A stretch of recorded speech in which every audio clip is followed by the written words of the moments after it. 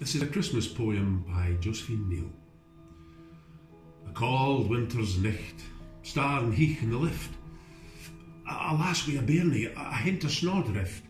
Come in through the byre, step o'er the straw, drop into the fire afore the day do. The bairnie will sleep by the, the peat's puttering flame, oor warm in place, lassie, this nicht is your hame.